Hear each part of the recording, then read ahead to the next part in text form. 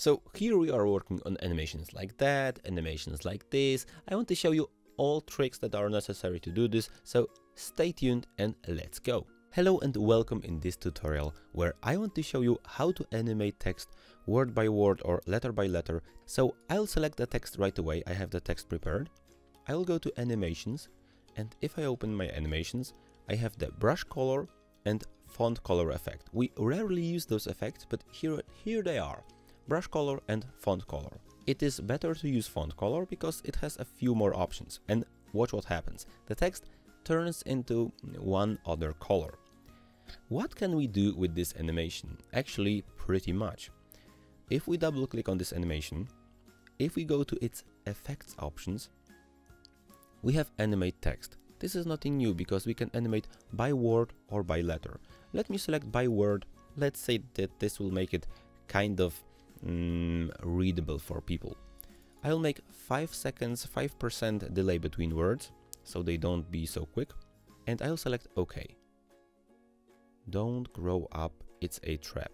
Now let's imagine that you want people to read this, it would be difficult because it fades between the entire text. But I said to you that we have plenty of options here. If we double click here, if we go to the effects, we have style, at least in this version of PowerPoint. In this style, we have not only the fade styles, those three are very similar, it's just about coloristics, but we have also the first style. I'm calling this the blocky style, and if we select the blocky style, we have something like seconds delay between words. So let me make it one second of delay. And now if I hit OK, don't grow up exclamation mark. It's a trap. One second after one second, each word would pop up. So this would be kind of more of a mm, animation suited for karaoke or for reading by people you can see the animation did turn to something like this. And this is very specific because if it's like that, it only appears if we select the blocky style, the entire color style. This way, we get this kind of animation.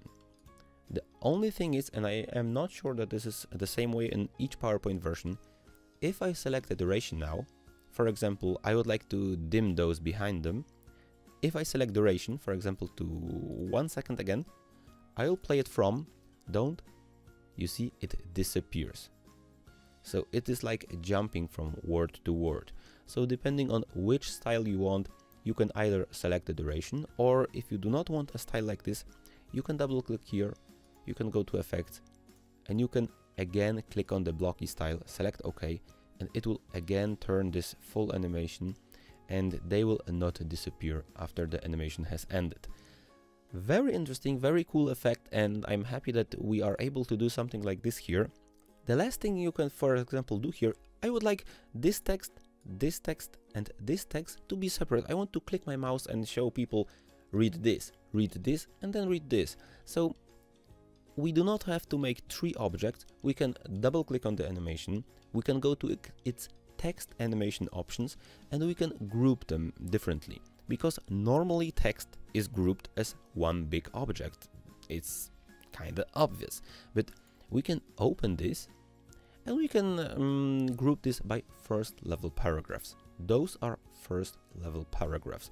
If we would have um, bullet points, you, we could have second level paragraphs, but here we have first level.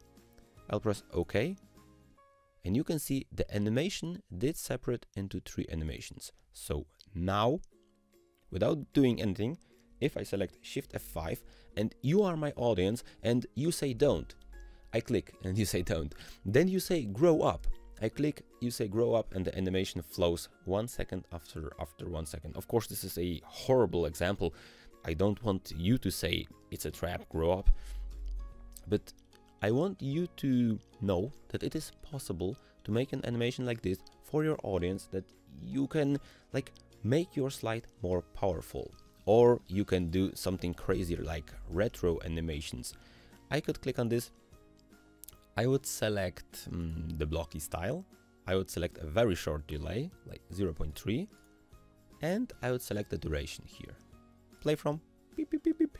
This could be a example retro style animation. Of course, I would maybe double click here or I could select the color version. It looks like that. Also a bit retro, the duration was too short, let me make it longer. So this way you can make such animations in PowerPoint. There are a quite few variables and it's difficult to explain unless you work alone in this, but I hope this tutorial is a little bit enlightening that something like that is possible. Either prepare this for your audience or try to experiment with that in your presentations. Just keep in mind that something like this is possible and you can color text within PowerPoint. Thank you very much for listening. Sorry this is a long tutorial, but it's a kind of big and kind of difficult topic here to talk about this animation because it has so many options. Thanks once again and see you in other tutorials like that. Bye.